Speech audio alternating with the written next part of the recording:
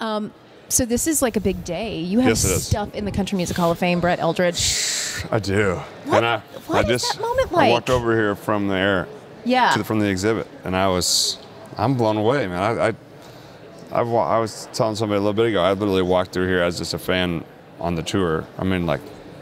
I can't tell you how many times I went to look at the Elvis car in there and like, you know, the one that has uh, the you know, TV Hank in it. Jr.'s yeah. boots and like all these crazy, you know, all these th- pieces I remember, and I maybe I'll be a piece that somebody else remembers, and there's like several pieces of of my history in there already. So That's that- amazing. That's cool. So what's the family think about it? I, I hope they love it. They're here somewhere, so I was looking for them. I, I I I think they're about to see it right now. So, but I know my mom called me today. She's like. Should I dress up for this? This is kind of a big deal. Like, what do I do? I was like, wear whatever you want, mom. Just like, just, just go and have fun and check out the exhibit. And, See, uh, so that's so cute. So tell me what's in the exhibit. The, uh, I've got my tux that I wore on the CMA Awards that I won Mm-hmm. the, the year I won, um, New Artist of the Year, um, which was like my favorite tux ever.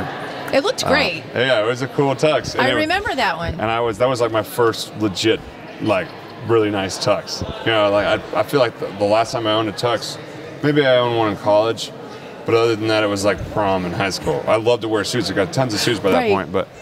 But uh, a tux is like you only wear that every once in a while. Well, that was an occasion to wear it, and then I happened to win it, and then all of a sudden they asked, "Can we take it and put it in the exhibit?" And I was like, uh, "Absolutely." yeah. It's like I'll, I'll. That's. I don't want it to sit in my closet. I want it to sit at the Country Music Hall of Fame all day. You Absolutely. can take it. you know. Absolutely. Send- So who are you next to?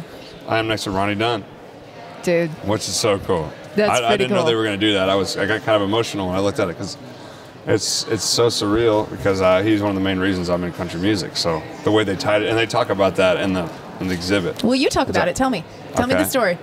I used to, um, my best friend Chip uh, in high school and several of my friends, we would we would put the Brooks and Dunn greatest hits CD in, in the boat that Okay. I my family owned called Bessie. Oh, Bessie. We named her Bessie because Okay.